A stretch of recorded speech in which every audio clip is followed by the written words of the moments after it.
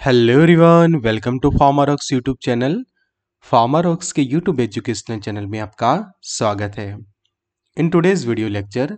we will study in detail about the home remedies for a dysentery dysentery की जो ऐसी condition की जब आपको दस्त होते हैं डायरिया जैसा होता है और साथ में पेट में मरोड़ ऐसा होता है तो उसका जो हम घरेलू इलाज किस तरह से कर सकते हैं वो हम सीखेंगे कि पेट में मरोड़ का घर, घरेलू इलाज हम किस तरह से करें। कि जो होम रेमेडीज होती है, घर पे ही कुछ ऐसे नुस्खे करने से ये जो कंडीशन है, वो ऑटोमेटिकली क्योर हो जाती है। तो without using any type of medications home remedy से किस तरह से हम डिसेंट्री को कंट्रोल करें कि जिसके अंदर मेनली क्या होता है कि जो डायरिया होते हैं, और डायरिया के अंदर क्या होता है कि विथ म्यूकस और ब्लड जो है वो सीक्रेट होता है कि जब आपको डायरिया की कंडीशन तो प्रोड्यूस होती ही है वहाँ पे बट डायरिया के अंदर जो स्टूल होता है उसके अंदर फॉर्म होता है म्यूकस भी होता है उसके अंदर एज वेल एज ब्लड तो इसी के बारे में हम स्टडी करेंगे आज के लेक्चर में. Expert lecture by Amar sir mister Amar M Raval assistant professor founder of Pharmarocks thank you friends for being a one lakh family of Pharmarocks updated रहिए फार्मा नॉलेज के साथ एक्सेस करिए study material test series and video lecture on app Pharmarocks अगर आपके पास Android phone है तो Google play store पर से आपको डाउनलोड करिए। आईफोन है तो ऐप स्टोर पर से भी डाउनलोड कर सकते हैं। सो जो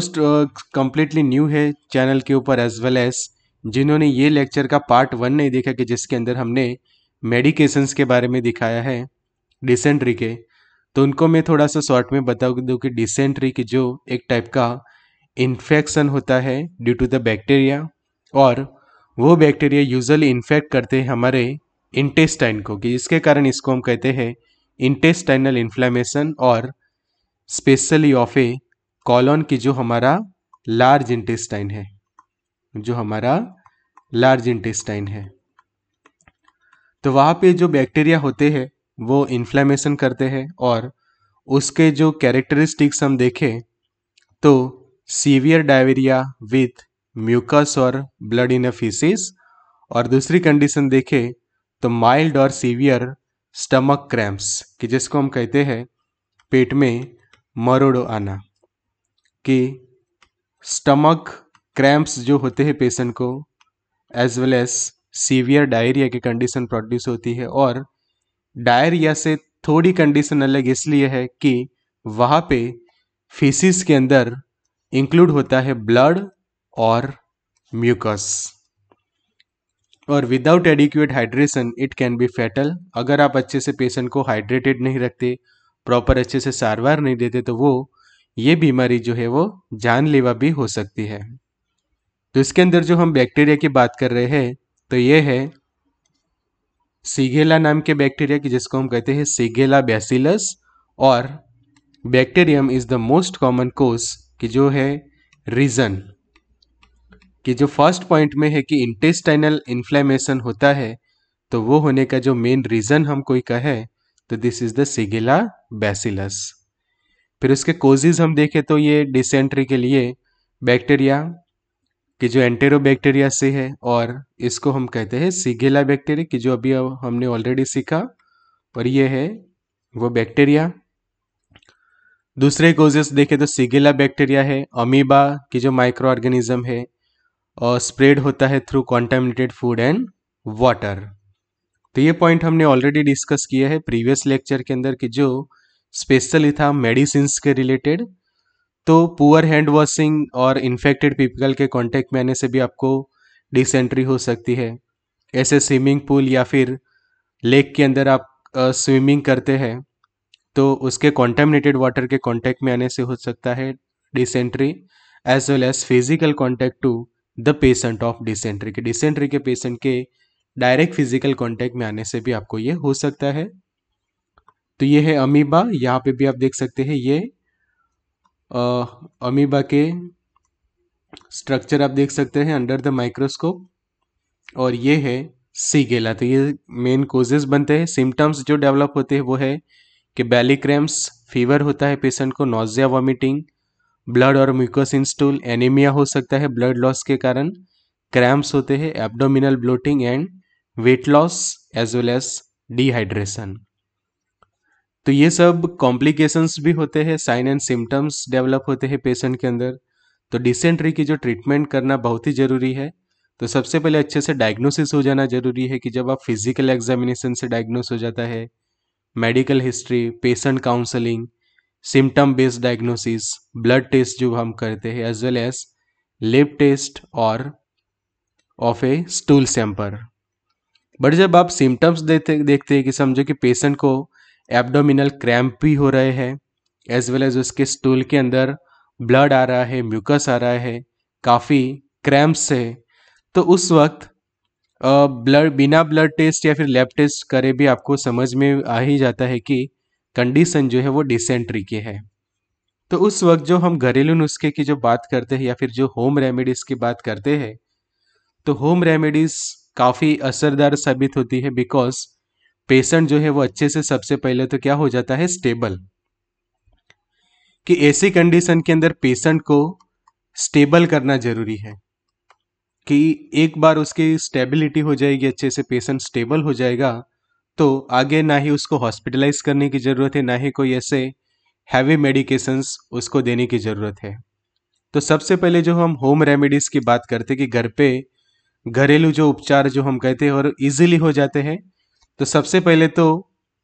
ये जो पॉइंट है कि बटर मिल्क कि यहाँ पे जो हम देख रहे हैं कि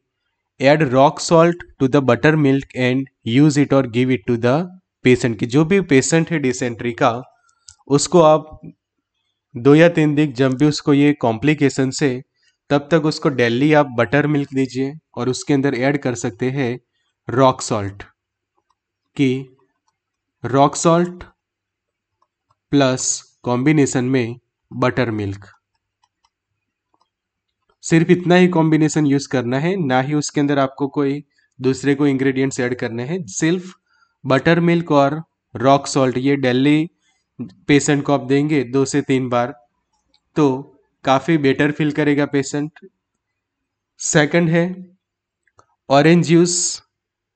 Drink at least two glasses of fresh orange juice a day.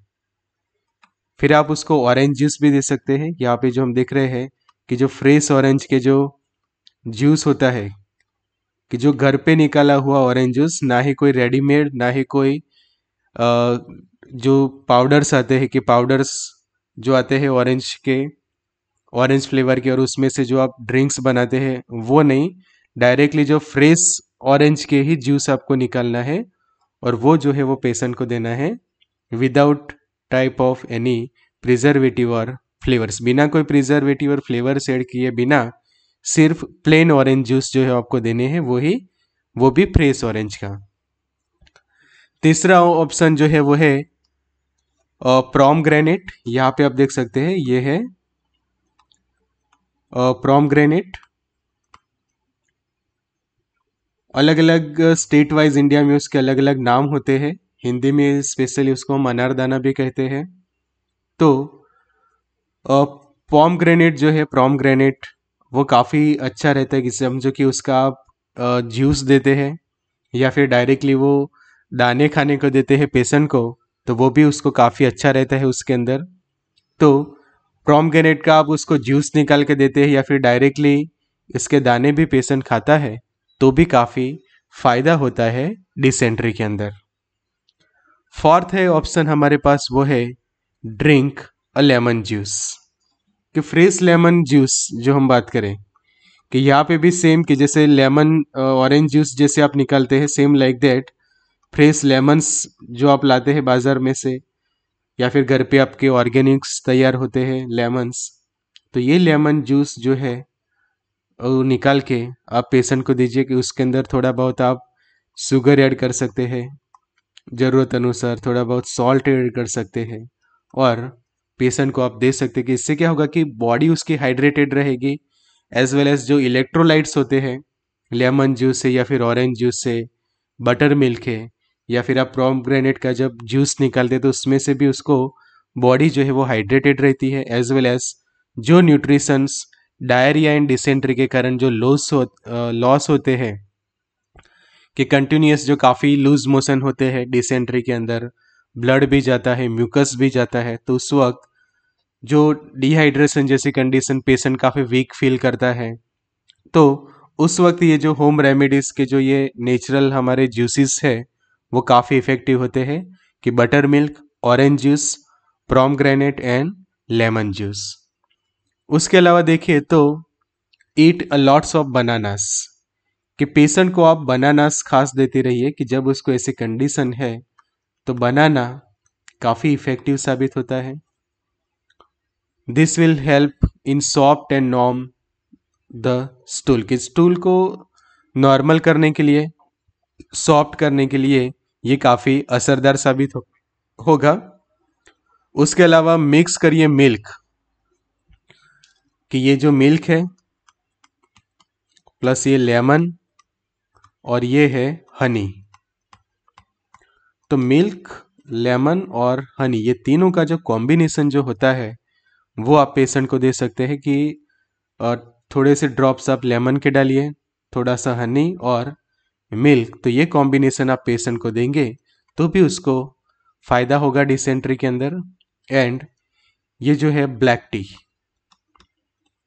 कि अगर पॉसिबल हो तो पेशेंट को, जब तक उसको ये प्रॉब्लम है तब तक और उसके बाद भी वन वीक तक समझो कि वो ब्लैक टी लेता है तो वो भी उसके लिए काफ़ी फ़ायदेमंद साबित होगा डिसेंट्री के अंदर। तो ये थे स्पेशली हमारा होम रेमेडीज़ आगे भी जो पॉइंट है वो भी आपके लिए इम्पोर्टेंट है कि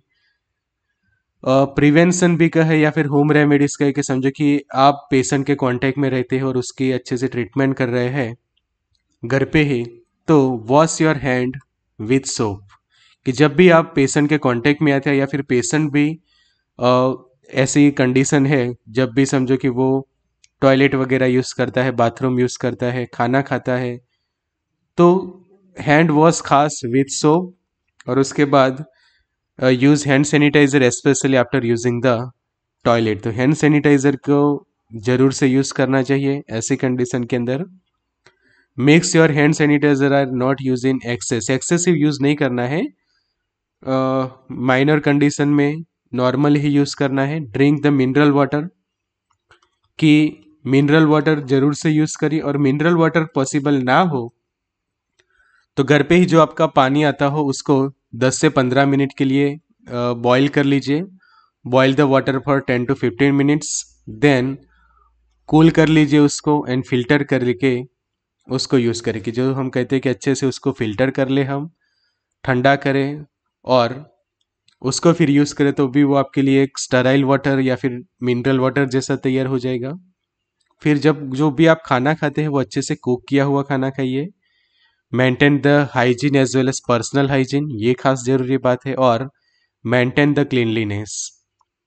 तो जो हमने रीजंस देखे कि कॉन्टेमिनेटेड वाटर और कॉन्टेमिनेटेड फ़ूड के थ्रू ही ये डिसेंट्री जो है वो होती है कि उसके जो बैक्टीरिया है माइक्रो ऑर्गेनिज्म है कि जो अमीबा है या फिर जो बैक्टीरिया सीगेला, वो कॉन्टेमिनेटेड फ़ूड या वाटर के कारण ही पर्सन टू पर्सन फैलते हैं। तो अगर आप मेंटेन रखेंगे hygienic condition proper well cook food खाएँगे वाटर भी आप ऐसा यूज़ करेंगे कि बॉयल किया हुआ या फिर मिनरल वाटर तो उससे ये सब बीमारी से आप बच सकते हैं। तो ये थे हमारा special lecture on home remedies previous lecture में तो ये मेडिसिन के बारे में ऑलरेडी आपको बताया ही है। और अटेंड नहीं किया तो ज़रूर से डिस्क्रिप्शन बॉक्स चेक करिए तो जहाँ पे आपको ये लेक्चर की भी लिंक मिल जाएगी कि जिसके अंदर जो मेडिकेशन होते हैं कि लाइक मेट्रोनिडाजोल है सैकनीडाजोल एंटेरोक्विनॉल है,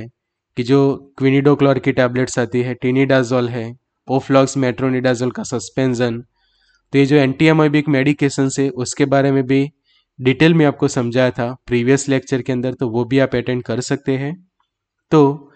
thank you friends for watching ज़रूर से लाइक करिए कमेंट करिए शेयर करिए एंड सब्सक्राइब करिए। एक्सेस करिए study material test series video lecture and farmer Pharmarocks also join कर सकते हैं व्हाट्सएप ग्रुप्स सो डाउनलोड करिए फार्मर फार्मारॉक्स एक्सेस करिए study material test series and video lecture good luck and all the best